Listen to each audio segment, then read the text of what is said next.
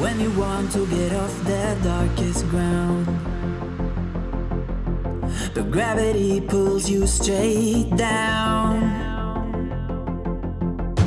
Earth from a bird's eye view.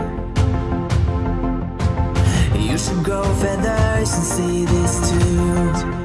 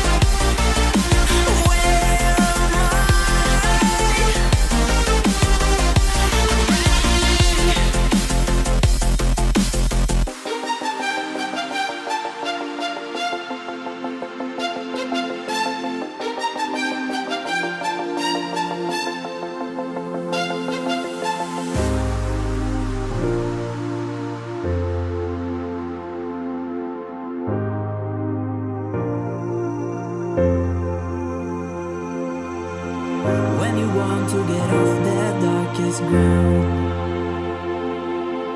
But gravity pulls you straight down. Earth from a bird's eye view. You should grow feathers and see this too.